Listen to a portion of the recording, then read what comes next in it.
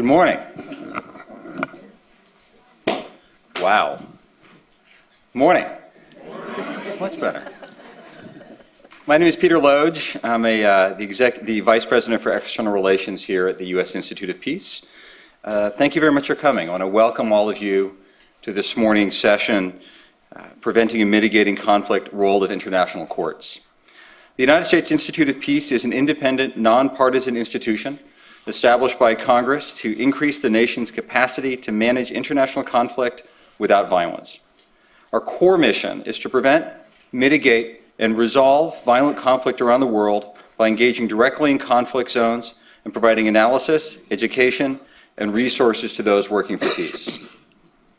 Because of our prevention and mitigation mandate, we at USIP are very pleased this morning to join with our co-sponsors, the Georgetown Institute for Women, Peace, and Security, and the Hague Institute for Global Justice to host this important and unique dialogue featuring the prosecutor from the International Criminal Court and jurists from the International Court of Justice to discuss an underexamined aspect of international conflict management, the role of international courts in preventing and mitigating conflicts.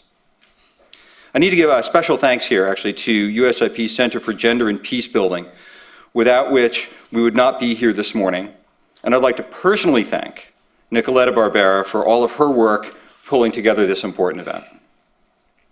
We're very pleased that this event is being held with the support of the Foreign Ministry of the Kingdom of the Netherlands and the American Bar Association's ICC project. The focus of the discussion will be on the role of the courts based in The Hague, the International Court of Justice, and the International Criminal Court in preventing and resolving conflicts and ensuring accountability for war crimes and in the contribution of women to peaceful settlement of disputes and strengthening the international rule of law.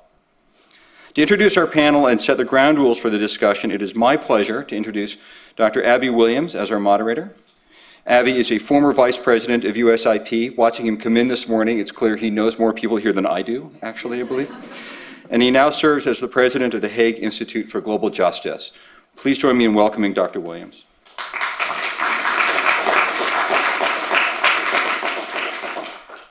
Well, many thanks, Peter, for the introduction. Um, it's really a personal pleasure uh, for me to be back at USIP and to see so many uh, old colleagues and friends and to share the billing with three organizations which, which I have close ties.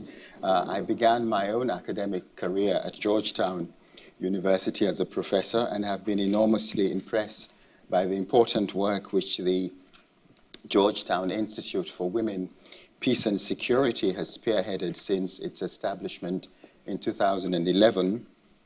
I also, as Peter said, spent uh, um, four happy years here as Senior Vice President at USIP, and in my new role as President of the Hague Institute for Global Justice, I have been delighted to work closely with the Dutch Ministry of Foreign Affairs and particularly with the Royal Netherlands Embassy here in Washington, and I'm pleased to see H.B. Schrijnmakers, the counselor of the embassy, uh, to realize our common aims in the fields of peace, justice, and security.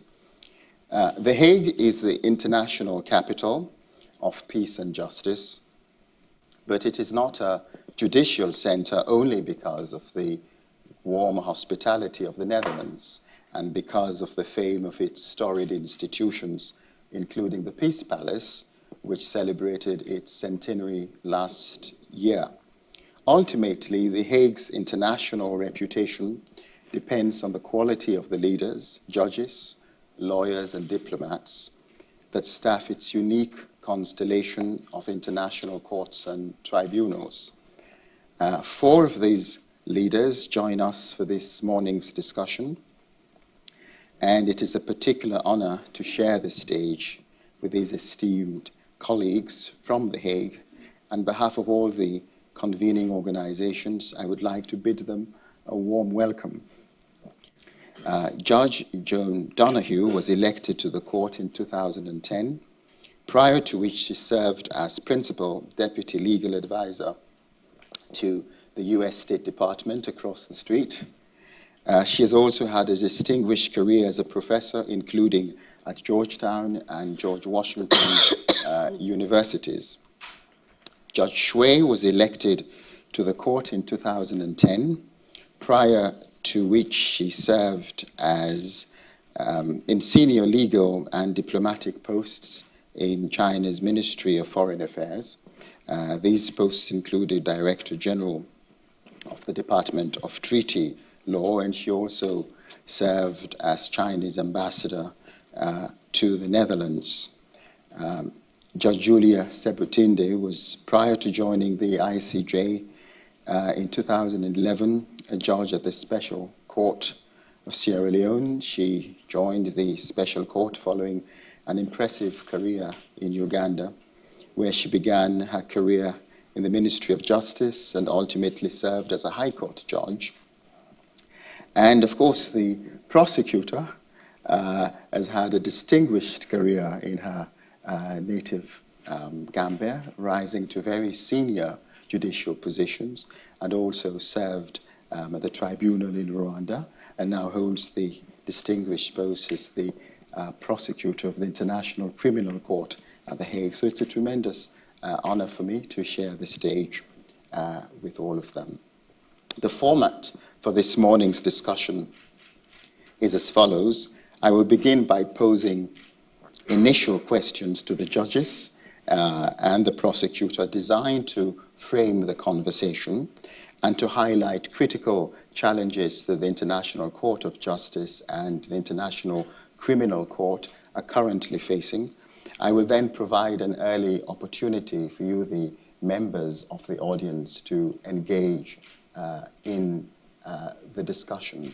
And I will take your questions uh, in groups of three to maximize uh, the conversation. So let me start off um, first with Judge uh, and uh, the prosecutor. Could you tell us a little about how the roles of the International Court of Justice and the International Criminal Court differ and how they each fit within the wider system of international law?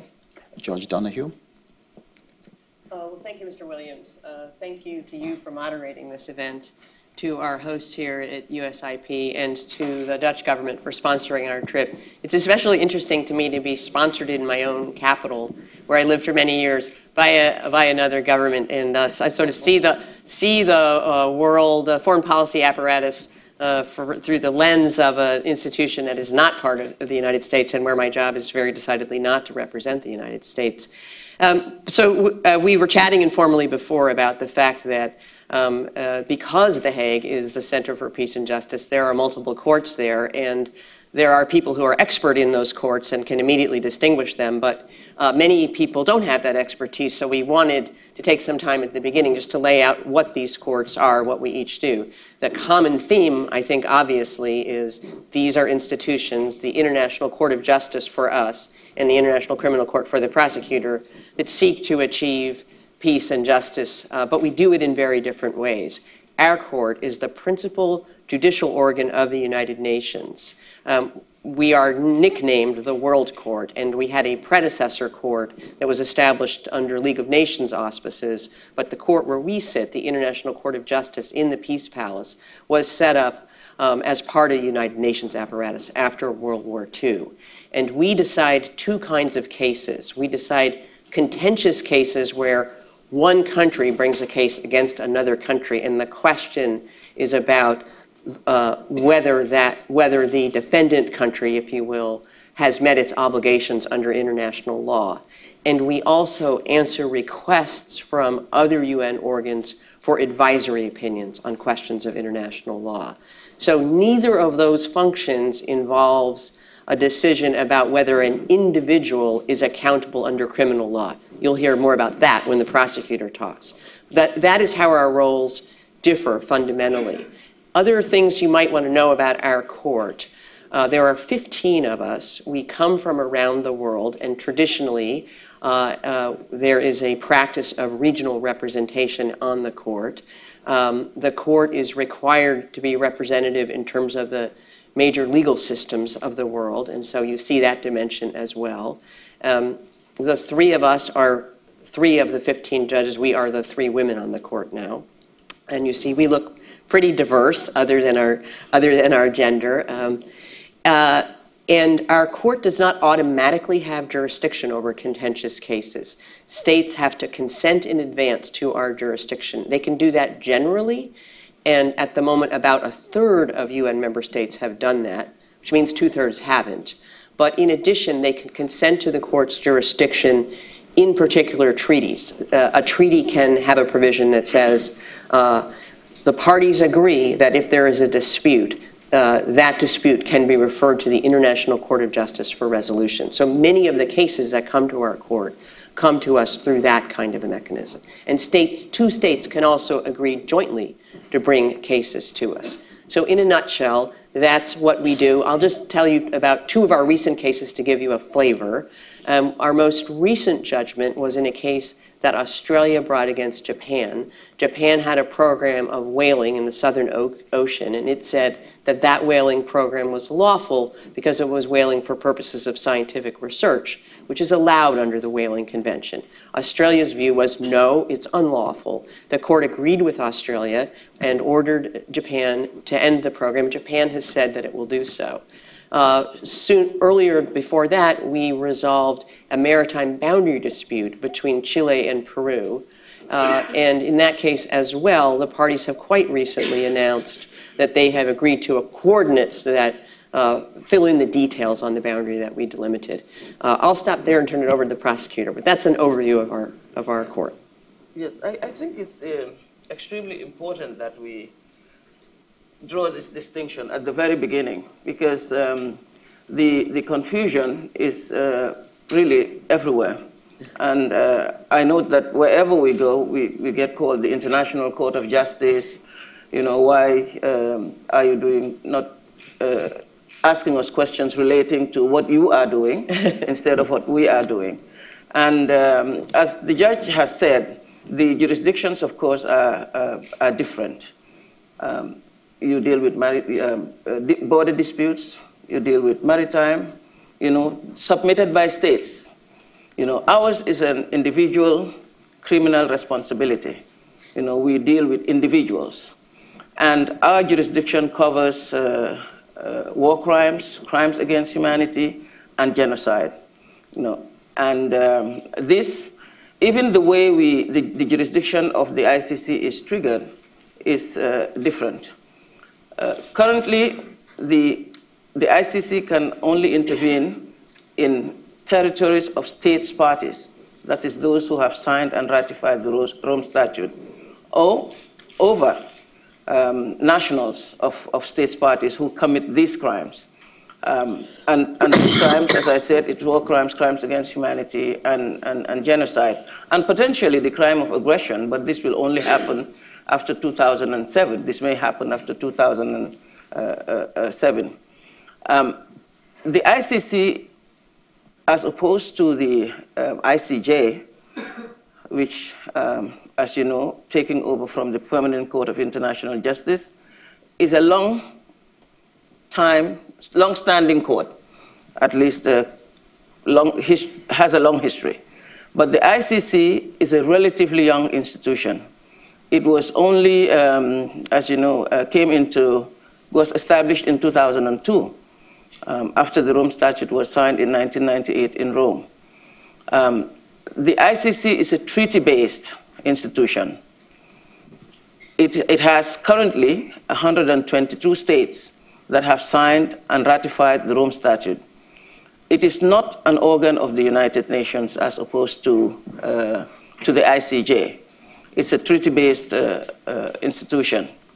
And as I said, even with the jurisdiction, the way the ICC can um, exercise its jurisdiction is where, as opposed to a state refers a situation to the ICC, requesting ICC's intervention, or where the United Nations Security Council, acting under Chapter 7 and also um, under, mandated under the Rome Statute to refer situations, war crimes, crimes against humanity, genocide, to the ICC for investigations and prosecutions, like uh, um, it did in the case of Libya and also the, uh, in the case of Sudan. Therefore, the ICC's prosecutor can exercise juris jurisdiction. Again, I think one fundamental uh, distinction that we can talk about is the powers, the proprio motu powers that has been given under the statute by, by uh, given to the prosecutor under the statute. And these powers means that if these crimes are taking place on the territory, in, on the territory of a state party, the ICC prosecutor, by her own motion, can intervene if that particular state is not already genuinely investigating and prosecuting. And this is uh, what happened in the situation in Kenya. You know, the primary responsibility to investigate and prosecute always remains with the state. But if that responsibility is not taken up by the state to investigate and prosecute genuinely, the ICC prosecutor can, can move in. So this, these are really the um, uh, uh, fundamental differences that you, that you have between the ICJ, you know, being uh, um, an, an arm, the judicial arm of the United Nations, and the ICC being an independent, international, treaty-based institution. Well, um, you've both, um, Judge Donoghue and Madam Prosecutor, uh, mentioned the different jurisdictional basis for the work of both the ICJ and uh, the ICC. For example, in the case of the ICJ, you know, the voluntary consent of member states. And I was wondering whether Judge Xue um, could, whether you could reflect on how the jurisdictional challenges which both courts face, for example, the ICJ basis of voluntary submission of states to its jurisdiction, uh, and the ICC's lack of universal jurisdiction, subject to the provisions of the Rome Statute, which the prosecutor has underlined, um, how both of these compare, and is it possible to make analogies between the strengths and the limitations of both? Uh, first of all, I, I think, can you hear me? My, that's my word. Uh, sorry. This microphone is The mic doesn't work? So it's fine. It's okay? Oh, They okay. can't hear. Okay, i- i- if uh, uh, my voice fails me at the back, please just indicate. Uh, I'll try to speak as loud as possible. Um, First of all, regarding ICJ, indeed, ICJ's jurisprudence depends on the consent of the states. And as Judge Donoghue introduced moments ago, there are three types of a basis for states to accept jurisdiction of the court. One, we call it Article 32 uh, compulsory jurisdiction. The states declare it will accept jurisdiction beforehand to another state who has also accepted the same uh, jurisdiction of the court regarding certain international disputes. Second one is by international agreements. When certain agreement regarding the interpretation and application of that particular agreement at the request of the one, uh, one party that they can bring the case to the court. And the third type is the uh, agreement by the parties. And then you would say, suppose if states don't accept justice of the court, does it weaken the role of ICJ? So far, there are 69 states who have made declaration to accept compulsory jurisdiction of the court. And many others have accepted jurisdiction of the court through agreements, bilateral or multilateral. And around uh, over 80 countries have appeared before the court in contentious cases. So, so far since the outside of the court, over 150 cases that have been brought before court in contentious uh, dispute. And also uh, around uh, 30, over 30 cases about uh, advisor opinions. I don't think that principle of consent is really a challenge to the court. Why so?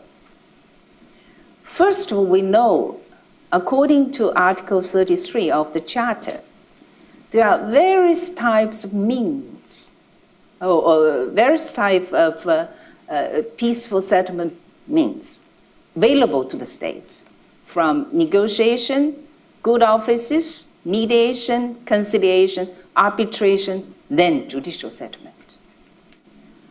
What kind of mean will be suitable for state parties concerned to settle certain dispute? Very much to the states to decide.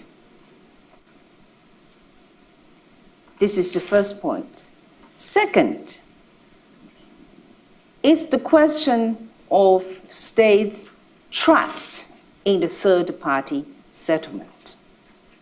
If you look at the cases before the court, you could tell why some states are so ready to submit their cases to ICJ, why some states choose to have bilateral negotiations, maybe through the help of regional organization or certain kind of third party, but not compulsory settlement by the court.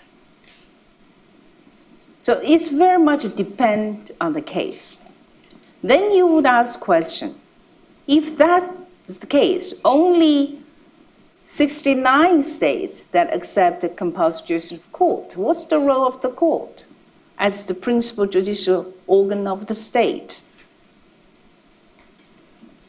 I would say, apart from the judgments itself, actually states, party or not, to the dispute, always attach great importance to the judgments of the court and particularly its jurisprudence. For instance, I was negotiating with our neighbor Vietnam on the maritime delimitation case. In our negotiations, we often look at international principles, established uh, the, the, the, cases and established maritime uh, principles from the court. So this is very important. I, I, would not at the beginning say it's really the weakness. I, I would say the actually the court role uh, is much larger than people generally think. So it's not a simple matter of jurisdiction. Vis-a-vis uh, ICC, I think is a little bit different from ICJ. It's really the, the, the forum that pursue, persecute individual criminal uh, responsibility. It's quite a different role. But in the whole framework of international law, uh, both have, this, uh, have their own role and both contribute to international peace and justice. Thank you.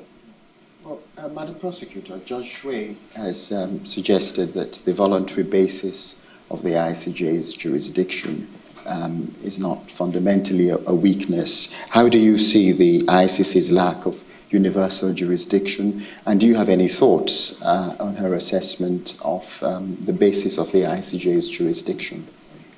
Um, I think with respect to um, jurisdiction, the, the strength of the ICC, I believe, it's in so many ways, it's also its limitations. Um, because it is an independent judicial institution, its strength, its legitimacy relies on applying our judicial mandate in an independent and impartial manner. I think that is the only way the ICC will be able to build its uh, credibility, always respecting the jurisdiction of the court and never going beyond the jurisdiction of the court. Um, as a lawyer, I strongly believe in the power of the law uh, as, a, as a tool and a tool to bring accountability to the for the perpetrators of this crime, but also for the victims of, of these crimes. Um, I think the equalizing factor is that no one is above the law and that one standard should be applied to all. But the ICC operates, even though we're an independent judicial institution, we operate in uh, a political environment, an environment in which uh, there are many priorities for the, for the states sometimes in which we operate. And it is not always that the judicial uh, mandate is a priority for that state. So we, we, we operate in that, uh, and we suffer from the consequences of these political uh, priorities that we, we have in states. But the jurisdiction of the ICC, we, we always should remind ourselves, is depends a lot, the effectiveness, I, I should say, depends a lot on cooperation with states. Because this is how the ICC was created. The ICC was created to perform its judicial work and for the states who are parties to the Rome Statute to be the enforcing arm of the ICC. And it is only through that cooperation that we will be able to um, effectively function as a, as a judicial, judicial institution.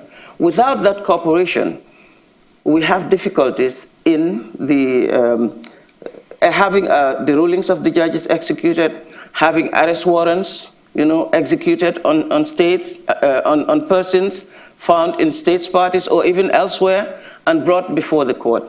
And this is, as I said, a limitation for the court.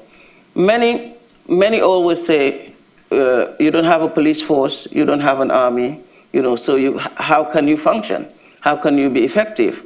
But I think the, the, the important aspect of this is to look at the role that the international community has decided to play in international criminal justice by creating this permanent independent international institution to do judicial work to prosecute crimes, war crimes, crimes against humanity, and genocide, and by becoming state parties, undertaking, undertaking to execute the, the decisions that the court will take. I, I, think this is very important, and this is why we always say that the, um, we did not create uh, a court the Rome Statute did not create a court. It created a system, a system of international criminal justice in which the ICC will do its work and the states will be the enforcing arm of the government, of the, of the, of the, of the court. Indeed, universality is very important for the court because what we have uh, seen happening is that there is this double standard that has been created. You know, for those who are parties to the Rome Statute.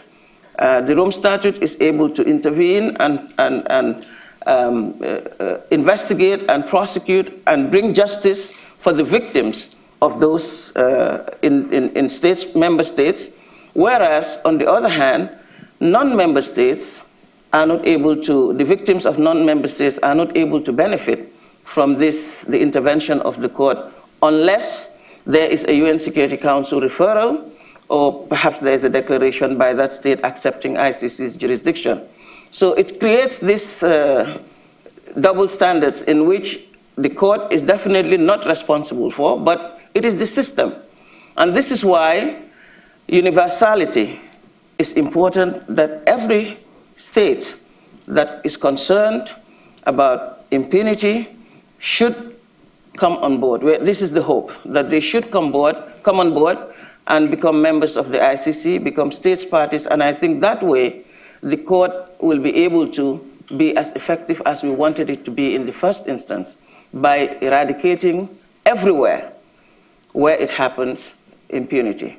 Everywhere where these perpetrators commit these crimes will be held accountable, that there will be no safe haven anywhere. No one will be able to, to hide from uh, being held to account. I think the victims yearn for this day to come. Judge Sebutinde, I want to follow up on the point that the prosecutor mentioned about the challenges which the ICC has to confront in deal, working in a political environment, she put it. Um, would you say that the ICJ has a greater luxury than the ICC in operating in a less political environment? No, I wouldn't say so. I think there's actually remarkable resemblance or similarity. Both institutions were born or birthed out of a situation where um, the international community um, was looking at, at, at, a tragedy, a human tragedy that happened. In the case of the ICJ, the Second World War. In the case of the ICC, the two genocides that, that we're quite aware of, Rwanda and, um, and the Yugoslav genocide. And I think both courts were birthed out of a sense of duty that the international community had to come up with an apparatus, one, to deal with the impunity or to prevent the impunity um, or, and, and also to build uh, an apparatus whereby in future um, situations like uh, those would be averted. Um, unfortunately, I think when it comes to implementing on a case by case basis, that is where the rubber hits the road.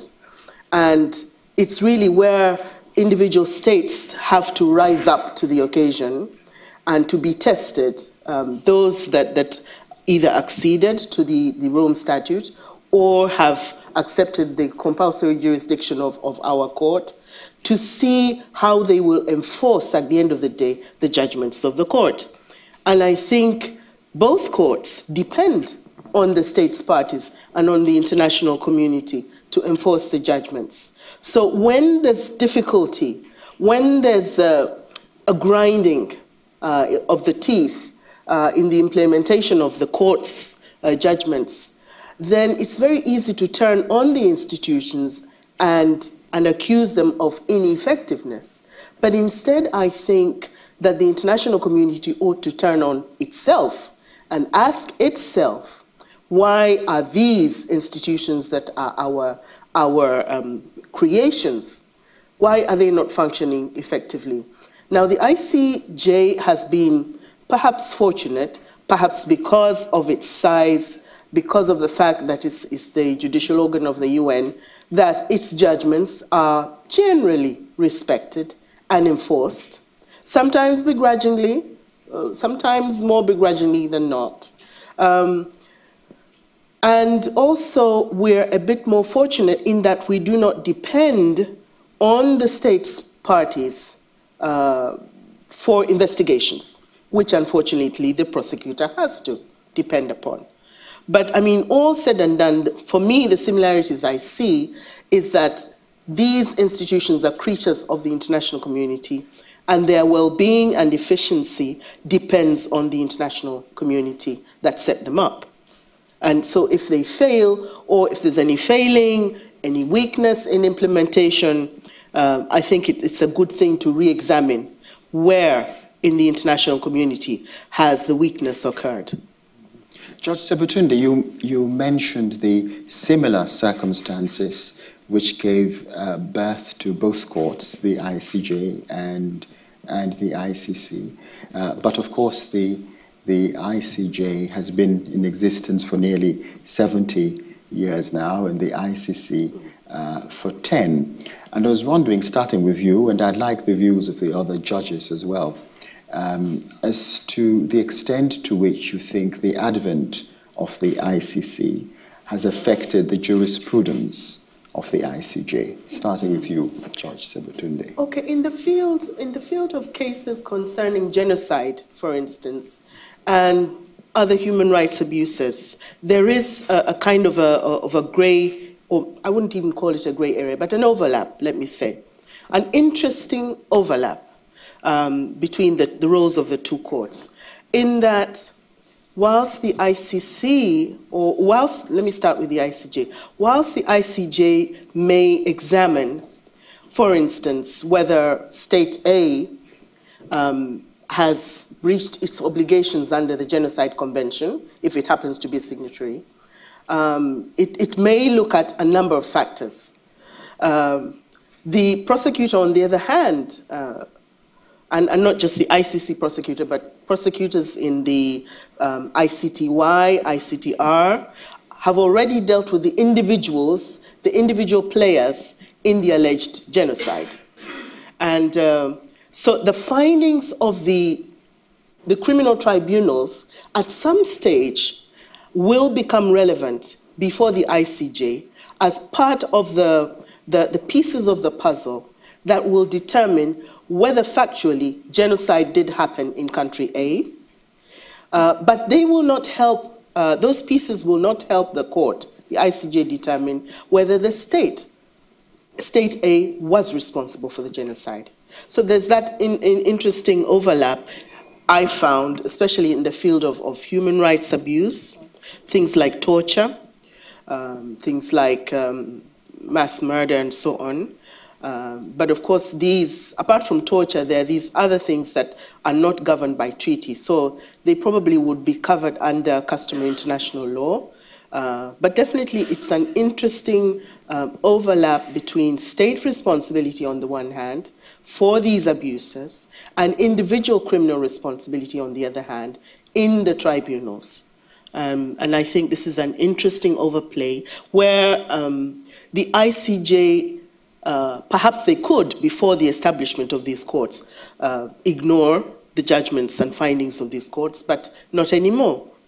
Uh, they are important findings that uh, have been um, have been uh, established by judges, international judges, after much inquiry, after much investigation, and, and often if the, the conflict is the same conflict that the ICJ is dealing with, this is already wheels that have been invented that we do not need to reinvent, although we need to carefully look at what kind of findings were made, in what context were they made, and uh, many other things before we will, we will apply uh, or be persuaded uh, by the findings of the other court. But we do, we do work in tandem. Judge Xue, your views on Can, can I take a, a little bit different approach? Uh, I will start with the ICC. Uh, nowadays, uh, international lawyers tend to say, oh, uh, criticize ICC for being not uh, as effective as is desired. I would say from international law perspective, we cannot look at ICC in isolation. It's only a continuation. If you look at the cause of ICC, you have to see human rights cause. Where human rights cause started, not today, not after Cold War. If you trace international humanitarian law, long, long before, right? And uh, if you talk about International Criminal Court, at least you would think of the Nuremberg Tribunal. We succeed a lot of principles from there, from Tokyo Military Tribunal. So this is only revival. It's part of the human rights cause for the protection of victims of war victims of serious international crimes. As a permanent institution for International Criminal Court, certainly the beginning would not be easy. Because in light of current state of international affairs, in light of current state of states, certainly it will encounter a lot of challenges. And this is what we are working for.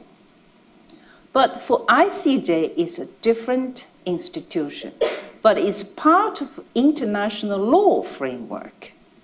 Its task is to settle disputes between states, not only focus on human rights, but human rights is part of its work.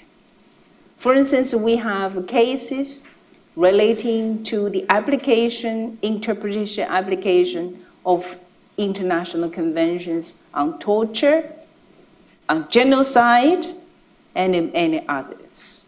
We promote the cause simply from different angle. Thank you. Judge Donoghue? Um, you know, I was thinking about the title of this panel. It's uh, Preventing and Mitigating Conflicts, the Role of International Courts.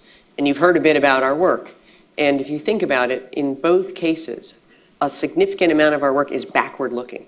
So in both cases, the, day-to-day work of the institution is to look at a problem that has already occurred, and in our case, to decide on questions that one state brings with a claim of a breach of law against the other state.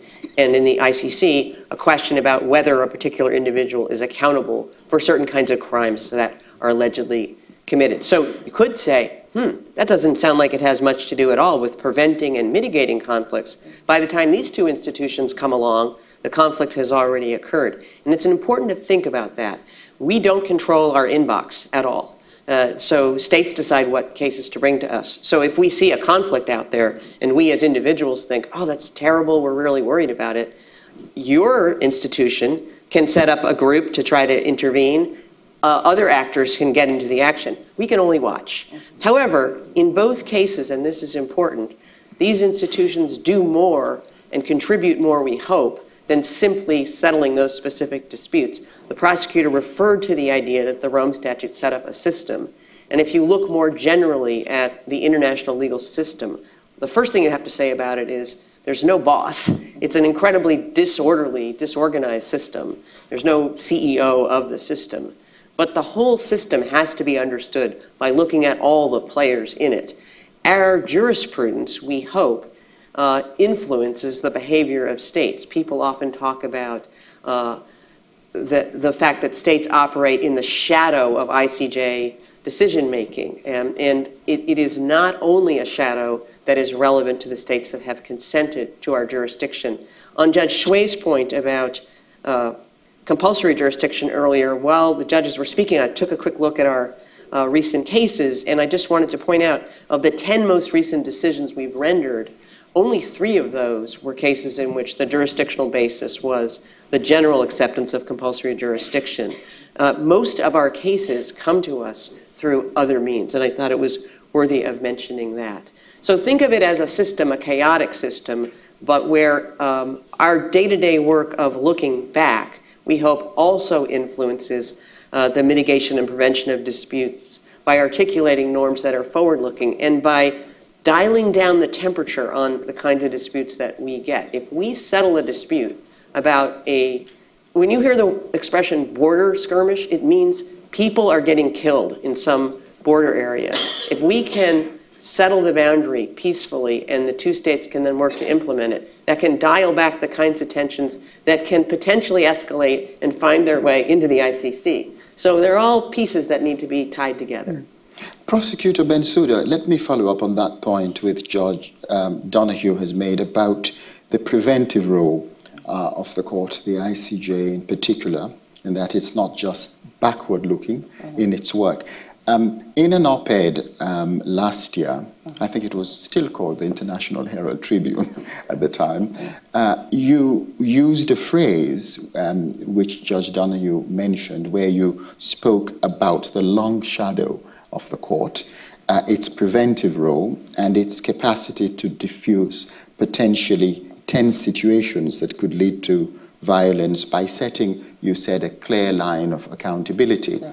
How does the ICC work to fulfill this role?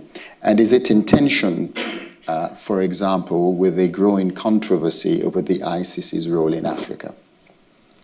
Um, I think prosecuting these crimes, these international crimes, should be seen as both as satisfying conceptions of retribution, but also as a means to prevent, to prevent the, the perpetration of crimes. And I think that the very knowledge that of the existence of this enforceable law and the fact that it is applied consistently, it is applied independently and systematically, can really act as a deterrent for, for, for violators and also to stop even would-be violators from committing these crimes. I mean, we've seen this uh, being confirmed by uh, academic empirical work, but also from our very own experience. We have seen that this uh, um, is, uh, can act as a deterrent. And I'd just like to give a couple of examples. Uh, but first of all, to say that we should not look at the ICC court, its successes, its challenges, um, whether it is going to deter or not, just by the, um, what is happening in court, or by the number of convictions, and, or by the number of acquittals. I think the impact of the court, as I said in that article, is really what we want to call, borrowing from the words of uh, Secretary General Ban Ki-moon, the shadow of the court the impact that the court has or is already having in the international uh, arena. Um, I believe that the ICC has already become a relevant player in the international arena. And to give the example of Lubanga, Lubanga is our first case. Uh, and it is a case that we brought charges against Thomas Lubanga, Dyilo, for conscripting and enlisting children and using them to actively participate in hostilities, children below the age of 15. But even before the end of the Lubanga trial, we see, for instance, the, the, the former SRSG for Children and Armed Con Conflict, Radhika, using this as a potential to factor in when she does her negotiations for the demobilization of children. And in fact, she did report to the court, you know, when, when, when she came, that she was able to use the Lubanga case to get Nepal to demobilize 3,000 children, children below the, the age of 15. And also that in all of her negotiations, whether it is with heads of states, governments, or whether it is with heads of militia, she uses the example of the Lubanga trial to, to, to convince them to, to demobilize these children. So I think this is, this is the impact, because not only does the, the decisions or the cases that happen in court reflect in 122 states of the Rome Statute today, but as you can see, Nepal is a non-state party. So even in, in, in other countries and who are not parties to the Rome Statute, the impact is being felt there. She did report also that it has triggered, the Lubanga case has triggered debates you know, in, in various countries that are not even part of the Rome Statute. So I think this is what we look at. This is the impact. The other example that I can, I can give now is um, in the Kenya cases. This is, these are cases that we're receiving tremendous challenges, you know, in prosecuting them. But I think we need to see, look at the impact that the, the, the fact that ICC is intervening in Kenya has played in the last elections of 2013. Ken, Kenya is a country, we all know, that for the past 21 years, all the elections that took place are marred by various degrees of violence. But certainly, this did not happen in 2013. And I'm not saying that nothing happened, but I think it was compared to what was happening Certainly compared to 2007, 2008, what happened in 2013 uh, was, you can call it scuffles. It's, it's really not uh, um, what, what used to happen. And I always say that I don't claim that it is the ICC that is solely responsible for that. But I believe that certainly the fact that ICC has intervened in Kenya has played a role in, in, in, for the violence not to escalate in the 2013 um, uh, elections. Cote d'Ivoire, in 2004, we know that Cote d'Ivoire was heading also to serious post-election violence. And the, the, the former SRSG, Juan Mendez, also came publicly to talk about, to warn about the ICC, especially those who are giving hate speeches you know, on the radios and, and inciting people to go into violence. And I think that that warning of ICC's intervention has de-escalated the violence that could have taken place, at least uh, for a couple of years.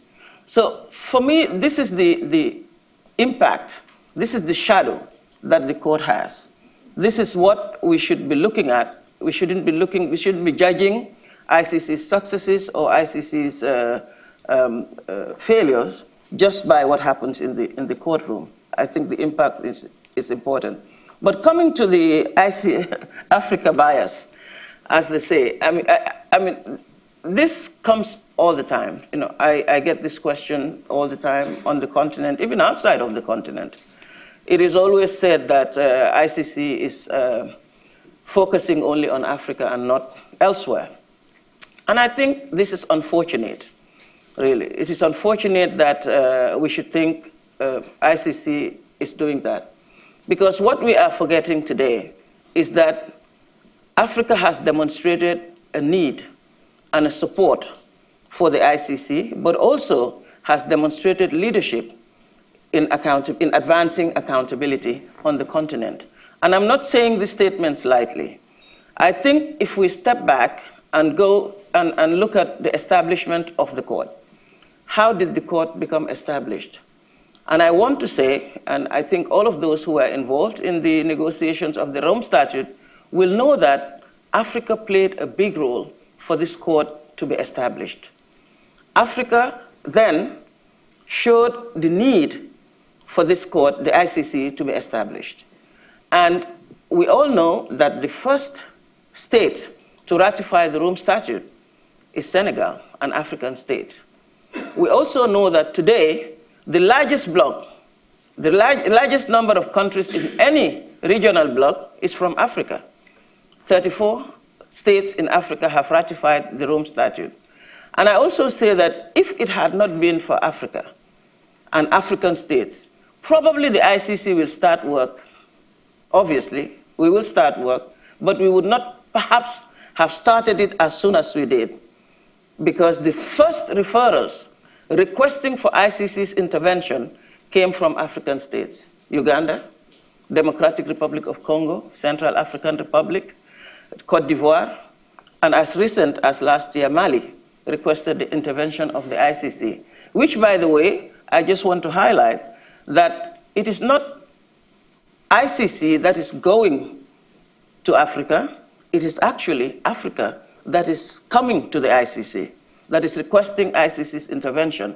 And those who talk about this, um, uh, make these criticisms against the ICC, completely ignore the facts.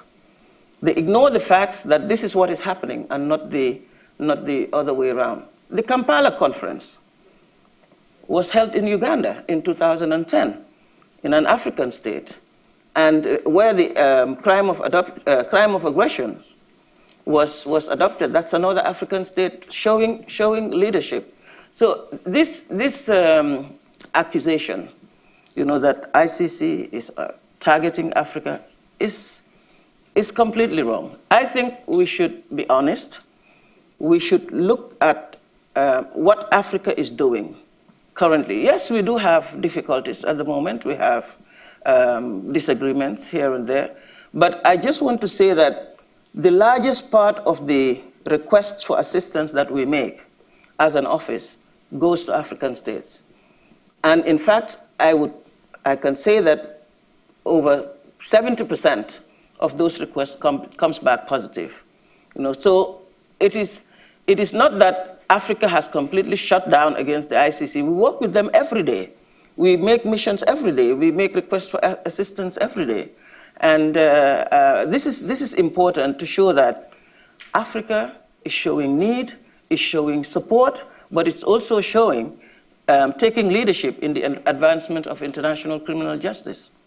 Well, in that spirit, let me move beyond Africa to two current situations Syria and the Crimea. And the newspapers are filled with stories about what is going on in those two places. And we see a diversity of views on the uh, applicable international law. But neither the ICC nor the ICJ is playing any role in respect of either matter. Does this suggest that these courts have nothing to contribute when the stakes are especially high? And when the international community uh, sharp, is sharply divided and you have various invocations of international law. Judge Sebutinde, do you want to start? Oh, I, was, I was hoping you wouldn't start with me. Um, um, I have my personal views, um, and I think uh, personally, I before I look at the courts, I always want to look at the international community. I want to look to New York. I want to look at the Security Council and sort of say, guys, what are you doing? We're, we're, we're, we're, facing fire here. What are you doing? But as, as, as, as Joan said earlier, these are situations that we in the court are individually watching with interest, but unless and until we're seized with an actual um, case in, in either of the situations, we can only watch, just like any other uh, court would, would, would, just watch. Um, I, I cannot speak for the ICC because I, I, I don't know what would happen there. Um, but surely, in, in, in the, the apparatus that the international community has put up, we're just one player. The ICJ is one player uh, to, to settle disputes. And uh, we settle where the states allow us to do that. Um, we're like a clinic, if you like, where the patient has to come to the clinic to be treated. Um, I think the Security Council has a large um, part to play. I have my own views as to whether or not they've let us all down, uh, which I would not care to express here. Well, please do. No. and, and, and, you know, I, I, I pull my hair, what's left of it, every day, just, just, just wondering. Um, but, you know, states are, are strange animals. And if we're to all peacefully coexist and to move forward into the next decade and the next uh, century and so on, we move, but we move very slowly. And whoever came up with this idea of a Security Council, its, its combination, the idea of veto powers, I don't know who came up with it. I don't know that it works, but I don't like it. I can tell you that much. Um, but I have no better solutions. But as, as a member of the court sitting, maybe I'm glad I'm not a member of the Security Council. It's much easier for me to sit and criticize the Security Council. It's much easier when the case is referred to the court for me to then sit in the quietness of my chamber and to try to figure out where the pieces of the puzzle fit in, to give a judgment, and to leave it to the states to implement or not to implement. Um, but definitely, these, these are uh, hot issues on the table um, for which you cannot look like, like a worm at one institution and say, you guys are ineffective. You've got to have a bird's eye view where some of these conflicts are con- um, concerned and to see uh, with, with, with, with a bird's with a bird's eyes, if, if, if you like, as to where you think the solution could lie. Okay. Judge Donoghue? Well, um, it's a good question and worthy of reflection. Um, and here I'll uh, play devil's advocate a bit with uh, what Judge Xue said earlier about the effect on our court of the limited acceptance of compulsory jurisdiction. To critics of our, the, our court's effectiveness often point to the fact that, if you will, two-thirds of member states have not accepted compulsory jurisdiction. Now, if there's any kind of a dispute and a state that considers itself aggrieved is trying to figure out uh, what should we do about this problem? Uh, having been a foreign ministry lawyer, I can say what they do is they develop a set of options. And they may look to see is there a court that would have jurisdiction over, over this case? Can we bring uh, this case to a court? Um, and it is, the, it is true that uh, some of the largest and most powerful states have avoided uh, ICJ jurisdiction, and that creates a limitation. Um, it doesn't mean that any of us could say sitting here there would never be jurisdiction over a case A or case, case B. That's a question we would only decide if the case were brought to us. Um, the United States has actually appeared before the International Court of Justice more than any other state, um, but has in recent years limited its exposure to jurisdiction. And so that would suggest that one wouldn't see the U.S. In, before our court as frequently in the future. Um, so I think that um, it, it can leave a feeling of frustration when one looks at disputes and says, why aren't they in our court? Um, uh, sometimes that is a consequence of a judgment of an aggrieved state that our court wouldn't have jurisdiction. Uh, and sometimes it is simply the case that the, the judgment of an affected state or, or both of the affected states separately or collectively is that the best way to make progress to achieve their objectives, what they see in their national interest, is not to come to a court for resolution, but to pursue to pursue other avenues. It's a complicated question and an important one. There is nothing in principle that precludes those kinds of hot conflicts uh, being brought to our court. Um, our court has jurisdiction in principle to settle any cases arising under international law from anywhere in the world. But the state that brings the case to us has to establish a basis for the court's jurisdiction. Judge Xue? I'm glad I'm no longer the legal advisor in foreign ministry. When I face this question as a member of the court, I, I think uh, I may put the question in a better perspective, more objectively.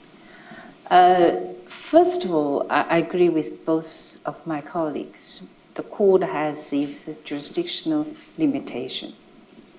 Unless it's given, it's asked to pronounce is uh, legal position, either in a contentious case or advice opinion case. It cannot take the initiative to give its views on any contemporary issues. This is first point. Second one, as in uh, at national front for judiciary, there always a question of non-judiciability or and the American Constitution, the question of a poli- political issue. Uh, for such hot issues like uh, Syria or Crimea, uh, we have to consider whether the case is arrived for judicial settlement, whether it's really a legal issue at this stage. I agree with uh, Judge uh, Sebutinde. Perhaps the Security Council, at the moment, UN is the, the best forum, forum to discuss the matter. And because at the end of the day, it's not that everybody want to seek legal view on the matter. All you want is a peaceful settlement between the parties either for Syria or for Crimea for Ukraine, is the international community's common task to see whether we can find a proper solution to settle the dispute for the benefit of Ukraine people, for the region, and for the world. So this is a common task for all of us. So when you talk about effectiveness of international law, it doesn't mean only one court can apply the law, so the law is effective. It's the states, the international community, the legal community, you have to think of the matter, where international law lies. And I'm glad that this institution is not only about international, you are from different disciplines this multi-disciplinary approach would be better solution. Thank, Thank you. you. Well, I'd now like to give an opportunity, as I said, to you, the members of the audience. We should clarify about ICC and Syria. Oh, ah, um, the prosecutor, before I give you an opportunity to engage in the discussion and the see there are two mics, uh, the prosecutor said that she wants to clarify the role of the ICC and Syria, which I think would be quite opposite. Madam Yes. Prosecutor? Yes, because I think um, we, our court gets more called on to intervene than even the, the, the ICJ in view of the, um, all the crimes that are allegedly taking place in Syria. Um, it is thought that ICC should intervene. But I think I just want to clarify that, as I said at the very beginning, ICC can only intervene on the territories of state parties, which Syria is not, or uh, Ukraine, for that matter. So we, we, we cannot intervene, or over nationals of states parties, which also is not the case here. Um, I think the only other, uh, not, not I think, but according to the statute, the only other way in, ICC, in which ICC's jurisdiction can come into play is if any state that is not a party, but wants ICC's jurisdiction, decides to make a declaration under Article 12.3 as um, accepting ICC's jurisdiction and requesting for intervention. That's one way. The other way is if the United Nations Security Council were to make a resolution referring the situation to the ICC, as, as is uh, uh, mandated under the statute which even in that case, it doesn't mean automatic intervention by the ICC, because we have to look at the facts and see that we, if we do act, we are acting within the legal framework of the Rome Statute before the, um, the, the, the ICC can intervene. So in this particular case, I know that uh, every time we get asked, why are you not intervening? Why, is, uh, why do you concentrate on Africa and you are not concerned about the victims in Syria? But this is not the instance. As I said, it is a matter of jurisdictional limitations. This is why the, the, um, the ICC cannot intervene. Thank you, Madam Prosecutor, for that clarification. Uh, now let's um, take some questions. I see the, we have roving mics, and as I said, I'll take the questions in groups of three to maximize the discussion. Start with the lady closest to the mic. And if you give your name and institutional affiliation, that would be helpful. Hi, um, I'm Tolu Odukoya. I'm from American University, doing an LLM in criminal law and politics and legislation. Can you hear me? Okay, my name is Tolu Odukoya. I'm from American University in Washington, D.C. here, and I'm doing an LLM in criminal law and politics and legislation. So my question is, for the ICC, when you ask states, when you see the states are investigating, what system do you have in place to confirm what they report to you as the report of the investigation? And in case those situations re-arise, what do you do? Do you can you re-instruct the state to do another set of investigations, or do you wait to see what steps they take and then step in? Okay, thank you. Do we have, and the lady in red? Thank you. Um, my name is Zora Rosich. I'm uh, uh, director of uh, Global Watch Group and uh, former advisor to on human rights to Afghan Ministry of Foreign Affairs. The question I have is Afghanistan has been um, a member, um, at least the last that I was at the foreign ministry a couple of years ago in Afghanistan, um, the uh, Rome Statute was signed.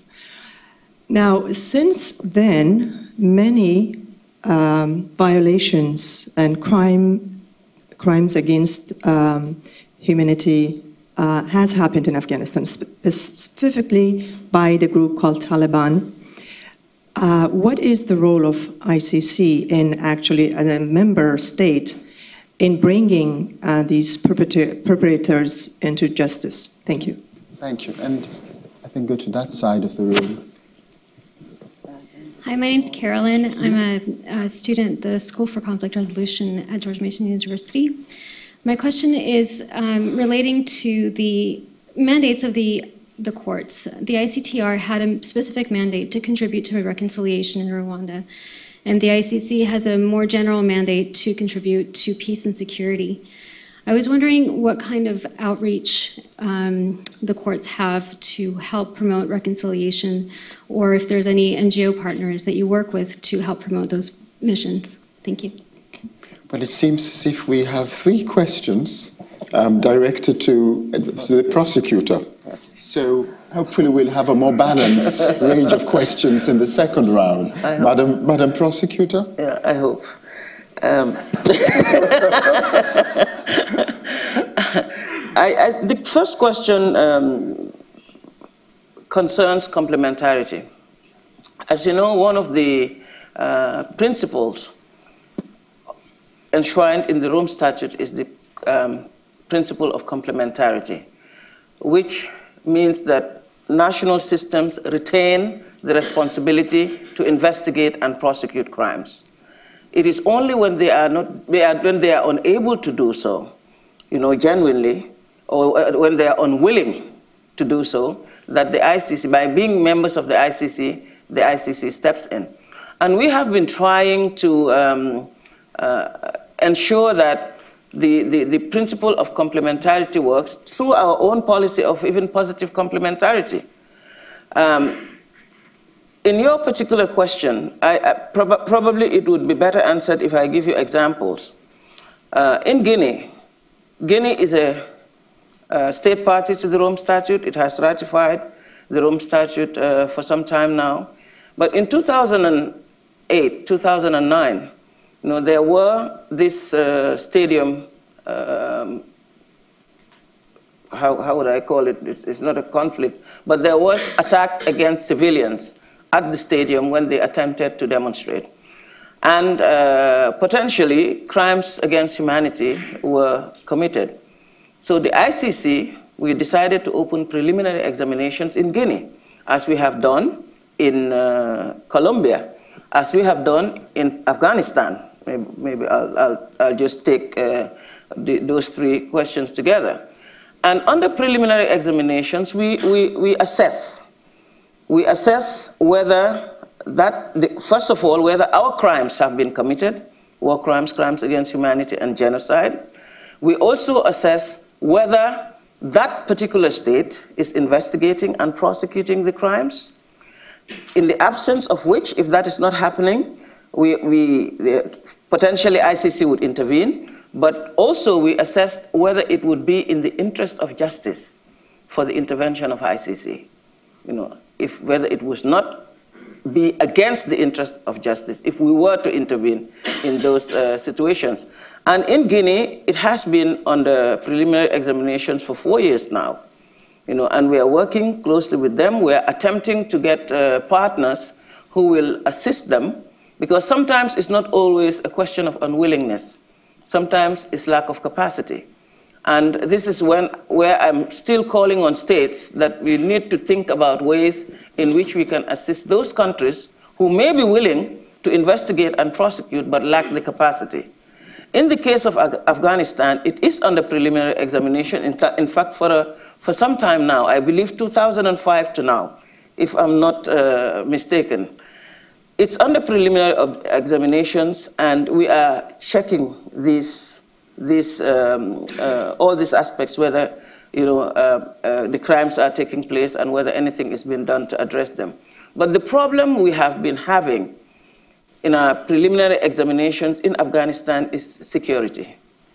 You know, security not only for those people who we meet, because we have an obligation to protect them, but also security for our staff in deploying to the field. We have been attempting to go, we've been making requests, but notwithstanding, we have been collecting information you know, which the office is analyzing because we have to analyze and make sure that this criteria, all this criteria is met before we can even go to a next phase or even decide to ask for authorization from the chamber to open investigations.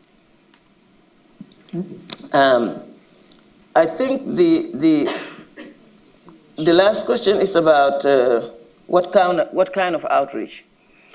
Um, as, as you know, NGOs have played uh, an important role in the establishment of the ICC, uh, a very important role.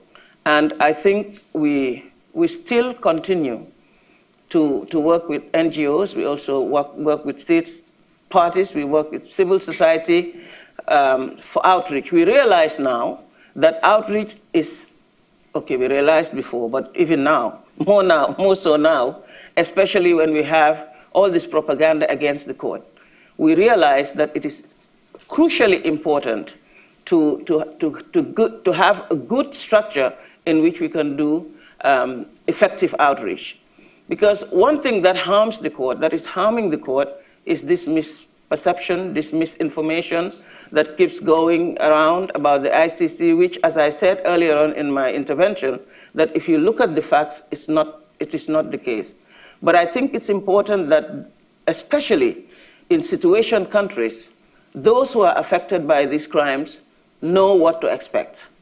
It is important. But, and also, even outside of the situation countries, I think it is important for people to understand what the limitations of the court is. You know, where the court can intervene and where the court cannot intervene. As you know, the, at the International Criminal, Criminal Court, we have victim participation. You know, we have victim participation for those who are affected by, by the crimes that the ICC is trying. And it's absolutely crucial that those victims also know that this, this is what they should expect. At the ICC, we have the Office of the Public Counsel for Victims. You know, that uh, um, goes to the situation countries and try to reach out to the victims, to, to, to speak to them and tell them their expectations. Also, we have the, what is known as the PIDS, You know, it's, it's our public information unit for the whole of the ICC. But the, definitely, it is important to have additional resources for the PIDS to be able to do its work properly. I mean, it's a small number of staff, but we have seen last year, we have seen what is, what is happening in the media, we have seen what is happening in Kenya, which the ICC alone cannot match. You know, we cannot. It's, it's, it's a reality. And we've been talking to states, we've been looking for assistance, we've been talking to civil society to see what we can put in place so that the outreach that is necessary for the effectiveness of the court is, is there. Well, in the interest of judicial fairness, I want to give a preference in the second round to questions which are either uh, aimed directly at the judges of the International Court of uh, Justice or a question which both the prosecutor and the judges in the ICJ could address for the second round. Chantal Dion Udrat. Thank you, Abi. I'm Chantal Jung Artat with SIPRI North America and Women in International Security, also known as WISE. I have indeed a question for the judges. And my question is how do you see has the ICJ evolved over time, both in terms of the types of cases that you have seen coming in front of the court, as well as the ratio of judgment versus advisory opinions? And a second question, if I may, is both courts, uh, a lot of states have not signed on to these courts. And so, what can you do, or what should one do, to beef up uh, the states adhering or signing on to either the statutes or the court? Um, and maybe for Judge Xue, uh, it seems to me that China has been very critical of the ICC, and I wonder if you could uh, explain the objections of China. Okay, thank you. Let's go to that. Hi, I'm Robert Lord. I'm a master's candidate at American University uh, studying transitional justice and, and, specifically genocide prevention and punishment. Um, I have a question for all of the, all of the panelists. Um, uh, in the Bosnia v. Serbia decision at the ICJ, uh, there was uh, a very narrow uh, conception of the effective control test and a very narrow uh, delineation of the actual occurrence of genocide to three days in July at Srebrenica. Um, does was when in making those decisions, uh, which were relatively conservative decisions, uh, was the court, in a sense, making a political calculation to uh, enhance its legitimacy in, in, certain, in certain contexts. Um, did those calculations uh, have a political aspect generally? And, and, and more specifically, I guess, for the prosecutor and as well as the judges, um, uh, is there a need uh, with such a nascent court at the ICC to uh, preserve or perpetuate the, such a nascent institution um, by making calculations that may have political aspects. Thank you. Good. And let's stay on this side and third question. Good morning. My name is Larissa Mihalisko with the Department of State. Um, I, my question is for, for all the panelists. Um, of course, the topic today is about how the courts mitigate and prevent justice, but in some instances, states may use uh, criminal tribunals, for example, um, to actually inflame problems in their own countries. And the, the um, example that comes to mind is Bangladesh. Um, and I was wondering maybe you could provide some. Uh, some guidance or some uh, yeah guidance really for practitioners of how to encourage states not to overly politicize uh, criminal tribunals as well as um, cases that go to court. Well, a range of questions. Thank you, Judge Donoghue. Why don't we start with you? Um, well, I think I'll I'll just uh, touch on the uh, an aspect of the last question. Uh, speaking of courts that resolve disputes. Um, uh, between states like ours. Um, and I would question the phrase overly politicized. And essentially, um, I would say uh, the kinds of disputes that come to our court are always political. Uh, and um, uh, think about it this way. Uh, let's say you've got a question about who owns an island, state A or state B. It looks really technical. The legal aspects are really technical. But do you want to be the leader in a state that's been claiming in all kinds of speeches for years and years. That's our island. It doesn't belong to the neighbor. Do you want to be the leader who gives that island to the other state, maybe not. So uh, one reason why you might actually want that dispute to go into our process is to manage your domestic political issue. How do I uh, uh, get reelected? Well, giving away our island might not be a good idea. So uh, having this ca- case settled by the ICJ or another tribunal might be a different approach. I think um, many of the disputes that find their way to our court are nested within a broader, inevitably political dispute. Uh, sometimes it has a domestic, domestic political dimension, as in my example, but usually we think about the bigger disputes between the two states, the broader disputes within a state, maybe uh, ethnic tensions, et cetera. So our, our cases, we settle legal disputes, but they're always nested within bigger, uh, weighty political disputes, inevitably. Um, Judge Xue? I think this time uh, question more directed to me uh, as to Chi- China's practice. Uh, first of all, I would say um, for ICJ, there are only about uh, 69 countries that accepted compulsory jurisdiction under Article 60, uh, 36, paragraph 2 of the statute. And many countries have not yet. So, how you see the involvement of the court. Uh, I would say, actually, as international lawyer, when we think about third party settlement, we have to look at the history of the court. Third party settlement, actually, if you compare the history of international law, only came very recently. And uh, if you look at arbitration, the first arbitration Alabama case, only in the middle of the 19th century. And if you look at the permanent court, and then and uh, the League of Nations, and later and the UN, the, the, the principal judicial organ of the, the, the organization, still you have to see why so many states have a reservation regarding third party settlement. This first point. Second, after uh, having worked in the court for nearly four years from inside, I can now better appreciate why some states do not come to the court to submit their dispute to the organ for third party settlement. This is the organ uh, very different from other organs of the United Nations, where the court works in two languages, English and the French.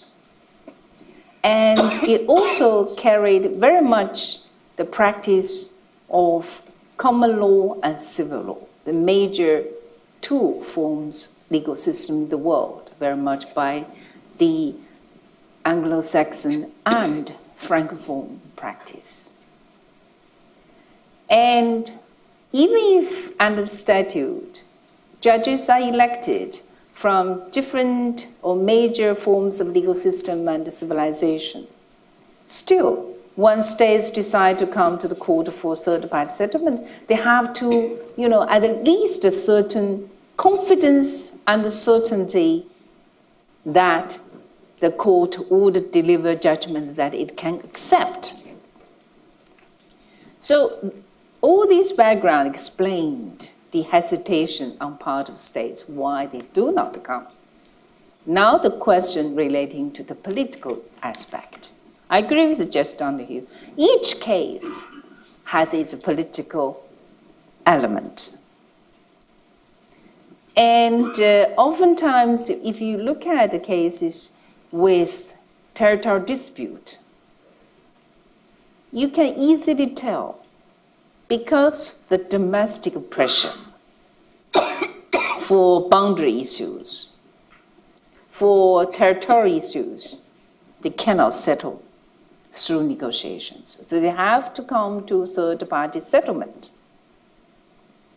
This is one thing.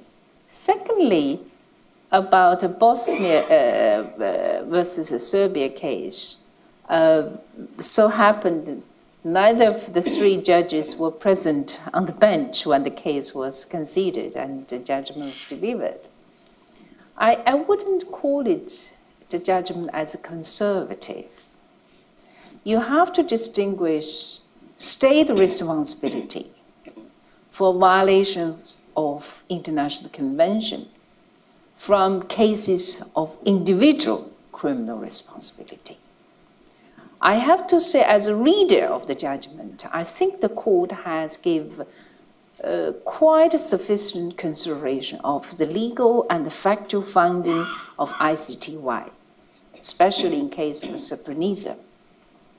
But when you interpret the convention on genocide, the court has to really follow the Vienna Convention on Law of Treaties, the rules of interpretation. So that, that's the result. Now come to the question of China's uh, attitude or criticism of ICC.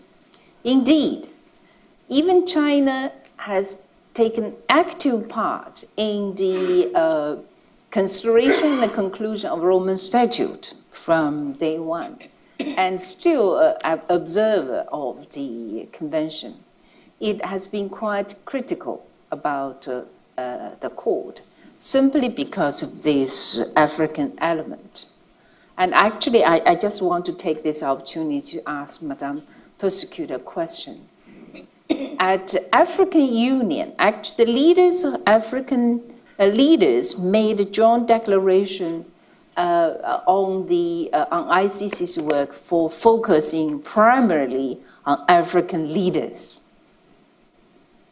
And if the court go on, you know, goes on like this, focusing on African leaders, and we may ask ourselves whether this kind of a persecution uh, really indeed contribute stability and peace of the region.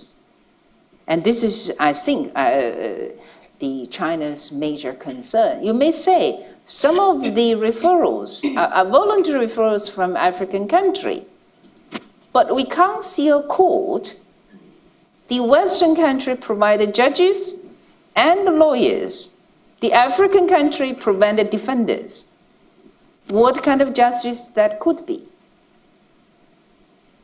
Right? It doesn't mean up till now, in the past 10 years, only African countries, leaders, violate international law. There are no other commitment, uh, uh offenses of serious inter international crime. Why those cases are not referred to ICC? I think these are legitimate questions. If we really about ICC, really care about international criminal law, criminal justice, we have to think this seriously. So far, China is outside the statute, Roman statute, but it really wish all the success of this international endeavor and be persuaded to join it. So, um, but at the end of uh, my speech, I think is uh, it's a break to do a little bit of promotion of The Hague. uh, ICJ is the longest uh, permanent court in, in The Hague, in the Peace Palace. But nowadays, every international lawyer referred to ICC. But uh, I have to say this is a success of The Hague. So uh, uh, I think that uh, as a center of international law, the Dutch government really has made a great contribution. I want to take this opportunity to make that acknowledgement. Thank you. Okay. Judge Yes, maybe um, I'll endorse everything my, my uh, colleagues have said, uh, but maybe a word on, on the, the interesting question that, that somebody asked about why do states politicize uh, criminal courts and what can be done to discourage this? Um, states are political animals and they will politicize anything to suit themselves. Uh, in, in the case um, of Africa, forgive me if I also speak about Africa, but um, I've had the privilege of serving in another criminal tribunal and uh, where we were trying a former head of state, and that didn't sit very well with a number of people. For me, the way I see it is uh, th- there's a bit of a double standards where, in the case of the ICC, the indictee is not a head of state or former head of state, is just an ordinary person. That is okay. Nobody has a quarrel with that. But as soon as the indictee has some kind of political standing in, in, in their community, then that is a, a, a problem. These are the double standards that I see and I have a problem with. Um, the, the Rome Statute is very clear um, in saying that the, the political standing of a person shall not be used as a defense against an indictment. And when member states sign on such a treaty, they absolutely undertake uh, to abide by that provision and to say, well, it doesn't matter, come what may, if it's a head of state, you are not above the law, so to speak. So for it to now become a problem after the event, uh, for me, I think is very, very unfortunate. And I, for one, take the opportunity whenever it arises like this to try and put things in perspective, to say, um, as, as the prosecutor has belabored, examine the cases on each one's case's merits. Do not generalize. It's very easy to say the institution is being faulted because it's looking at one continent and therefore it must be persecuting. Look at who's making the accusation, in respect of which indictees, um, and how did the referral, how was the referral made, and examine each case on the facts.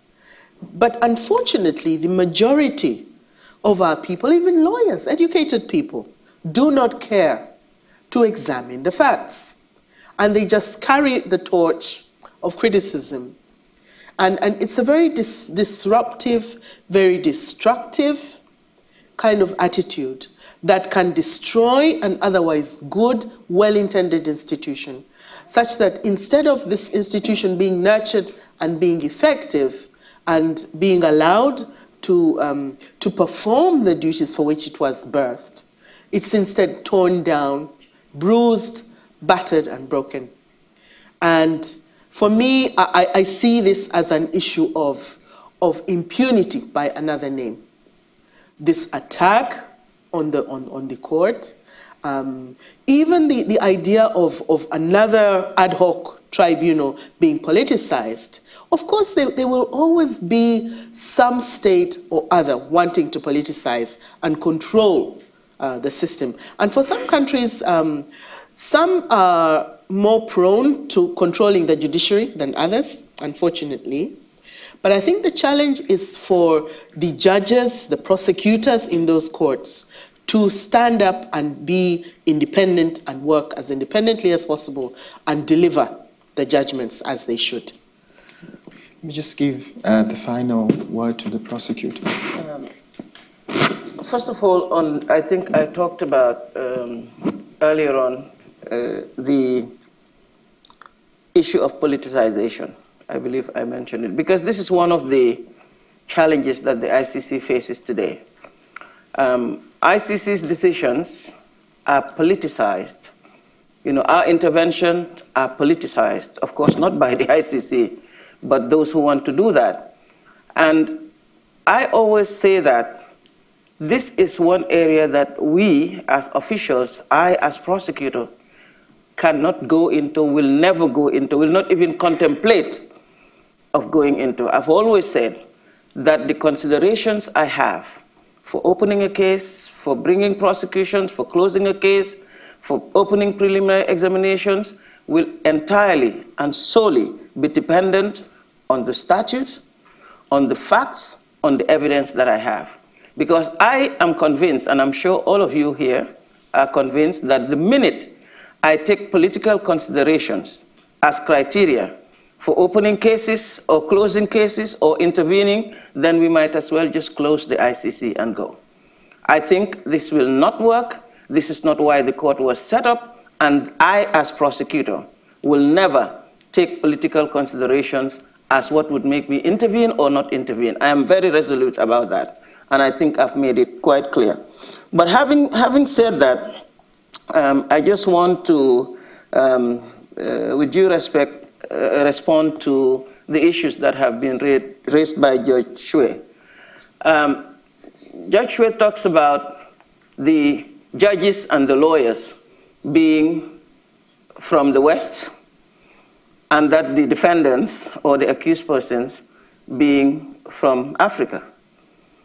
I am the prosecutor of the ICC. and the last time I checked, I am from Africa. so, I, and this is what, uh, with greatest respect, this is what I mean when I say that we should look at the facts and criticize based on the facts.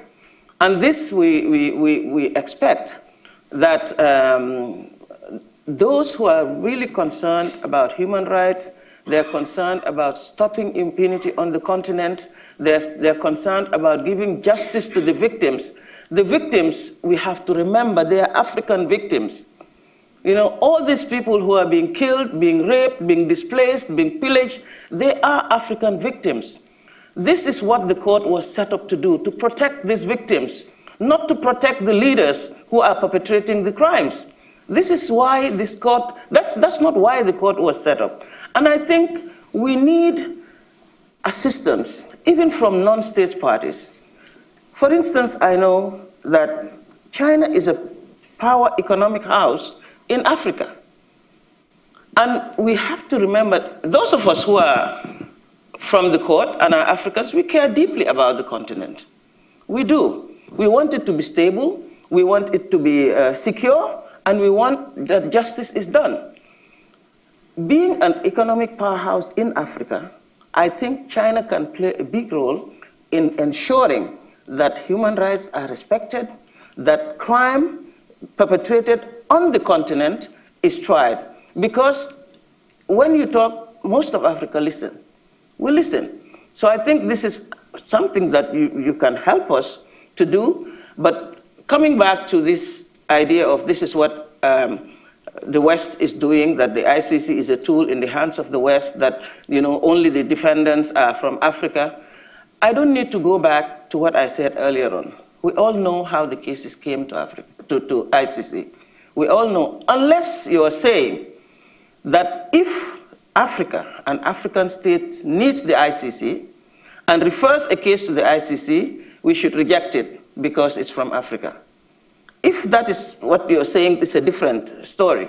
But I think that if an African state party needs the court, wants uh, the court to intervene, wants to ensure that there is no impunity on their territory, and as state party requests the intervention of the ICC, the court should be, go, go there based on the facts, on the evidence, and on the law. And I think this is what we have been doing. Under my watch, this is what we will continue to do. Mm -hmm. Thank you very much, uh, um, the judges and the prosecutor. I'm conscious, of course, of the time, so I'd like to ask Professor Jane Stromseth of uh, the Georgetown Law Center and the U.S. Department of State to give the closing uh, remarks. Jane?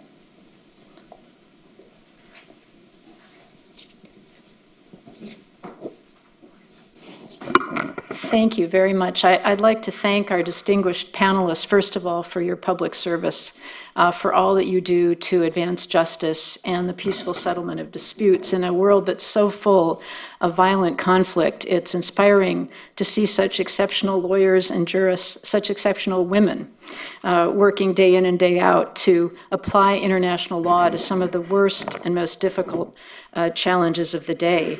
Um, as a professor of international law at Georgetown for over 20 years, I'm particularly pleased that Georgetown's Institute for Women, Peace, and Security is co-sponsoring this event.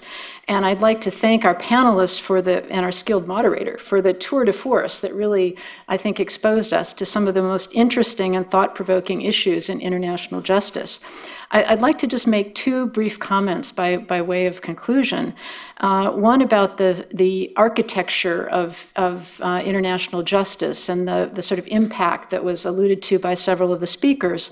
And second, to the question that I often refer to as the challenge of justice on the ground, the, the, the sort of role of reaching out and building domestic capacity and reaching out to those most affected um, at, the, at the local level. So I think, I think the discussion has made clear first that international courts are an essential part of the architecture of international peace and security. As we've talked about today, the ICJ and the ICC are part of a dynamic system that's evolving, that's developing. It also includes an array of um, specialized international courts, regional courts. Uh, I'm thinking here, for example, of the um, European, Inter-American, and African human rights courts to sub-regional courts, including developing sub-regional courts in Africa. So we have, a, I think, a very interesting array of international and regional courts, of which the two we've discussed today are a part. Um, and as Judge Donoghue put it, a, a, lot of these courts can play a role in dialing back the temperature of conflicts and trying to resolve conflicts that, um, if, if left unaddressed, could um, erupt into armed conflict. And as, I think, as we all know, uh, armed conflicts are breeding grounds often for horrific atrocities. So there's a way in which all these courts, I think, can work together uh, in, in their own particular way to try to address conflict, to try to limit and minimize the chances of the most egregious um, international crimes. Uh, in, in the field of global criminal justice, which is the work of my current office at the State Department, uh, I think it's really remarkable if you look back over the last 20 years to see how the architecture of international criminal justice has developed. I mean, from the, uh, the ad hoc tribunals for Yugoslavia and Rwanda to some of the mixed or hybrid courts like the Special Court for Sierra Leone, which brought together international and national judges, prosecutors, defense attorneys, and administrators, to the establishment of the ICC, to some very innovative hybrid arrangements today that continue. Uh, it's really been remarkable to think about what's been developed in the last 20 years um, of our lives. And I think, as the prosecutor so eloquently uh, stated, uh, these mechanisms and the law that they enforce um, provide a kind of shadow of the law that has a larger impact than even the individual cases that, that come before them. And uh, one, I think, very concrete example is the work of these courts to address um, the problem of sexual and gender based violence, which disproportionately affects women and girls. And I think I, would like to personally commend the prosecutor for her commitment and her important work uh, in this area. If, if you look at the way in which these courts, these criminal courts, over the last 20 years, have engaged on this issue. If you look at the way they've developed the law from the very early, um, the very early law applied in the uh, Tokyo Tribunal, the provisions of the 1949 Geneva Conventions and Protocols, to the, the jurisprudence of the Yugoslav and Rwanda Tribunal and the Special Court for Sierra Leone, uh, much of this incorporated into the uh, ICC statute, we now have a body of law that uh, recognizes as, um, as crimes not only rape, but also enforced prostitution, sexual slavery, forced pregnancy, forced marriage, and other forms of sexual violence as distinct crimes.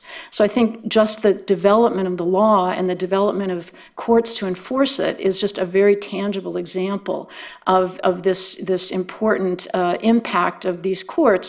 Um, but of course, there's a lot of work to be done in enforcing this, this body of law um, and protecting the victims of these uh, horrible forms of violence. And that brings me to my second point, um, which is that fair and effective national justice systems are also crucial to peace and security. You know, building the capacity of domestic judiciaries to provide accountability for atrocity crimes, for example, is a critical component of the global justice system. And as the prosecutor said, although the ICC plays an important role in this system, uh, the principle of complementarity at the heart of the Rome Statute recognizes that states uh, have the primary role uh, and they should be encouraged to genuinely investigate and prosecute uh, these worst uh, international crimes. And, and when domestic justice works, uh, it demonstrates uh, powerfully uh, at, the, at the local and national level uh, and, and bears witness to the les- lesson that grave international crimes carry consequences. So there are many, many opportunities, and some of them have been discussed here today, for states and NGOs to work together with national authorities uh, to strengthen domestic justice systems across a whole host of areas from uh, forensic investigations, witness protection, educating prosecutors, judges, and defense attorneys um, on international criminal law and due process principles.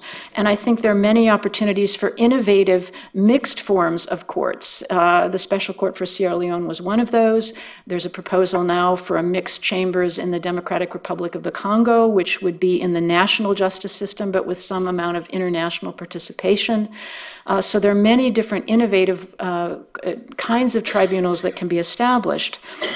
Um, but uh, building some capacity within domestic justice systems, I think, will be critically important uh, to uh, bolstering peace and security uh, in the years ahead and to preventing uh, egregious uh, international crimes. And let me just mention one particular example where my office has been involved in providing support, and those are the mobile courts in the Eastern Democratic Republic of the Congo, where domestic, these are domestic courts that have international assistance that travel to remote areas uh, and uh, hold sessions where cases are heard against Congolese soldiers and armed groups uh, for war crimes and crimes against humanity, with most trials involving charges of rape and sexual violence. So, this is an example of what I call supply side capacity building that is such an important part of um, international criminal justice. But also crucial, and here I was pleased to see a number of the questioners raise this, is what I would call demand side capacity building, um, outreach to affect affected communities, right? Strengthening public understanding of their rights and of judicial remedies. And, and in this regard, it's especially important that victims and aggrieved and vulnerable populations see that justice is being done. And I, I, would like to commend the Special Court for Sierra Leone for their, I think, very ambitious outreach program that traveled throughout the country, engaging the population, talking about, you know, the tough issues of justice, because often these courts try only a small number of perpetrators. And, you know, the victims see a lot of people who are never brought to justice. And so engaging in these outreach programs that really grapple with these difficult issues, I think, is a very important part of the project of international uh, criminal justice. And I think here we can learn from Eleanor Roosevelt, who is one of my personal heroes and a leader in developing the Universal Declaration of uh, Human Rights. Uh, she stressed the importance of education, and she stressed the, that the protection of human rights begins with communities right? It begins with changing the hearts and minds of individuals, working in their communities. She said in the small places where you know rights are protected, where where um, people learn about what's what's truly important uh, in, in life. Uh, and as a professional educator, I, I believe education about rights is power. Uh, and I think education about international justice is empowering. So I'd like to thank the panelists today for their very learned um, uh, discussion. I think we've all benefited from, from hearing from them. And I'd like to um, commend them for their, their contribution to um, international justice uh, and, and for their important and tireless work. So thank you very much.